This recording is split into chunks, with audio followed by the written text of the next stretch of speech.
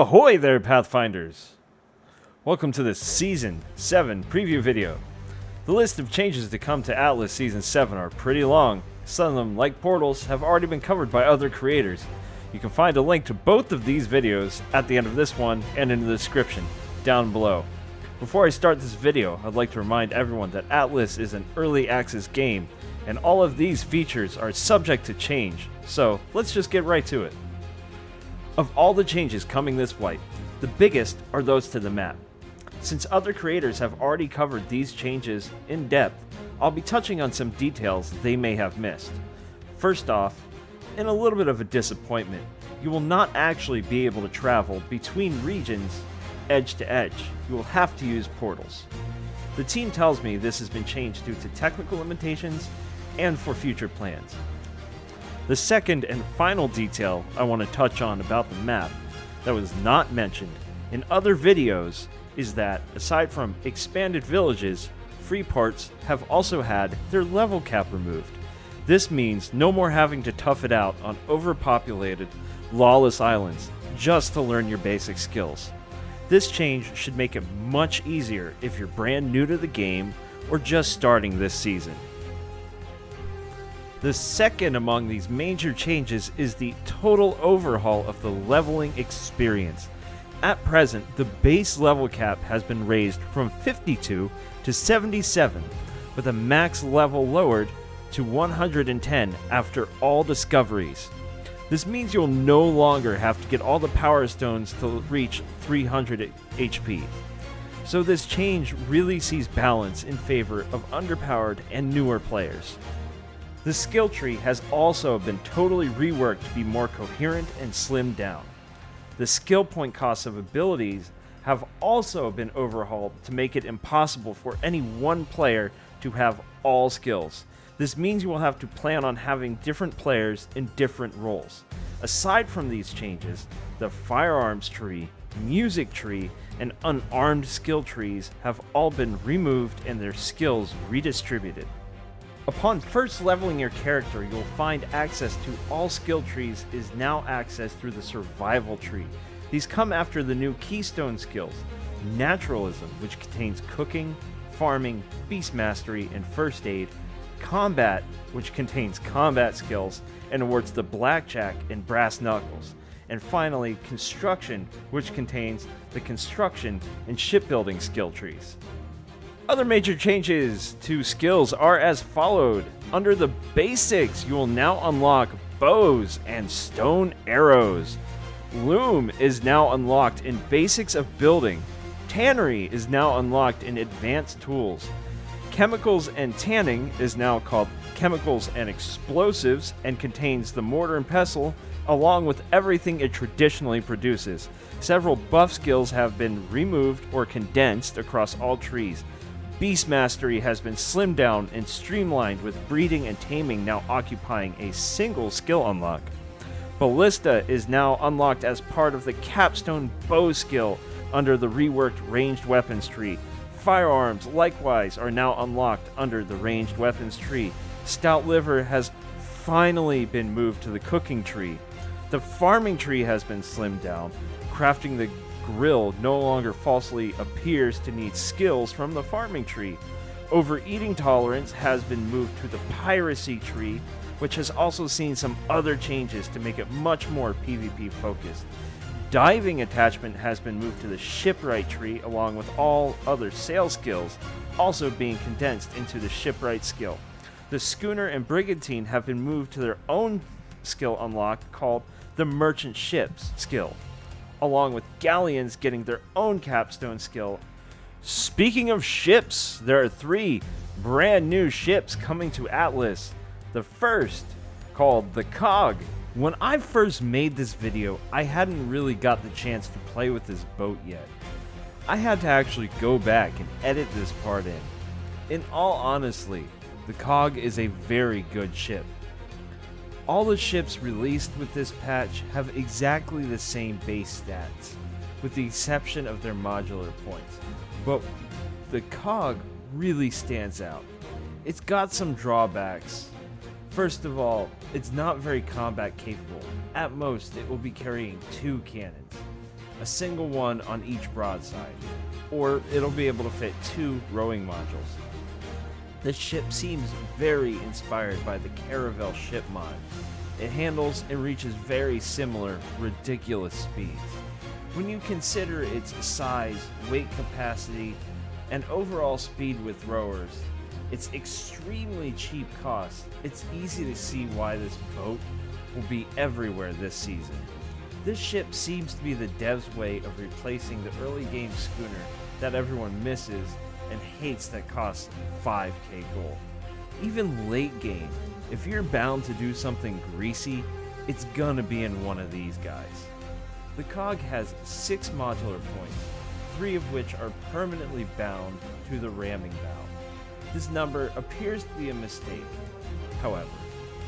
The cog has a standard for the season 9k weight capacity and 4 sail points, allowing it the same sail setup as a schooner. I'm not going to mention this for the rest of the boats as they all basically have the same. Except the Carrack will be sporting 26 mod points and the Harrier has the same amount of mod points. Secondly, the Carrack, a ship the devs describe as a blank canvas with which to attach any modules you see fit. It seems to be just slightly smaller than a broadsider. It also boasts a ramming bow and is slightly more maneuverable than its big brother. Seen here with six rowing modules and two diving bells, this ship seems like it's meant to be the modular version of the schooner, boasting identical sail points and ultimately holding the same amount of guns for the time being. Lastly, the Harrier. No, this is not the flying ship from the cover art. Instead, this is a smaller, less armed vessel than its big brother, the mortar ship, that boasts increased both speed and maneuverability. Seen here with its optimum sail setup, you'll be seeing a lot more of these on the seas this coming season. Back on land, new additions have taken on a Mesoamerican vibe, and this patch seems to have more than one reference to Huitzilopochtli, the Aztec god of war, sun, and sacrifice. First, we have the Manacutl, a new sword type weapon from the Mexicas. Boasting similar stats to the sword, its overhead strike causes profuse bleeding. To create this weapon, you will need to have both knowledge of the old ones and one handed studies unlocked. Additionally, players will be able to craft the very same armor worn by the Army of the Damned. Granting similar stats to plate armor, it supplies additional buffs against heat. You will likewise need Secrets of Armor and Knowledge of the Old Ones unlocked to craft this spooky new set. New constructs are coming our way, the first of which is referred to in game as the Ritual Pedestal. When placed in range of an Altar of the Damned, it will generate a charge up to 300. With it, you can presently perform one of three rituals. The first of which, Unnatural Fog, which, as of my testing, rolls back the server, so that one may not be in the final build. The next available ritual is called the Ritual of Sacrifice. Starting this ritual will cast a sphere around your island and an audible sound. And additionally, it will cause all creatures and NPCs and players to drop a heart when killed. Finally, we have Raise the Dead, which, for 50 hearts generated in the previous ritual, will allow you to spawn a tamed Warrior of the Damned at the same level as the Summoner. The next of the possible constructs is the Cursed Temple.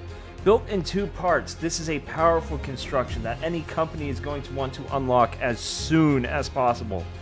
Inside the temple, you will find a number of study rooms each of these allows for construction of blueprinted items up to masterwork at a random quality.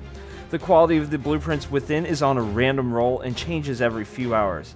You can build anything from ship parts, armor, weapons, and even food, depending on which of the study rooms you fill your temple with.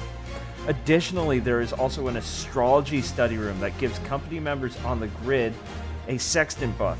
However, at the time of making this video, it was currently glitched, so I wasn't able to show that. Keep in mind, this structure is wide open, so you may want to dedicate some defenses to it. Additionally, there are two more constructions that seem to be related to future rituals.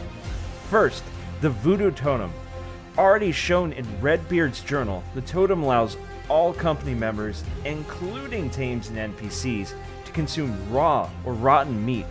This monument is constructed in three parts, and as of my testing, placing the final piece is a little weird. You have to cancel and re enable placement to get the final piece to go on. Uh, with the second monument, feeding crabs is going to get a lot easier because the burial mound, once finished, causes all creatures killed on the island to drop rotten meat when harvested. This one likewise has the same placement issues, but I didn't get a shot of this. Finally, we have the Songstone. As mentioned in other videos, activating the Songstone will create a verse book, which can only be created once a month per company, so you'll want to guard this close, because anyone can take it from you. The verse book contains a number of songs that apply a given buff.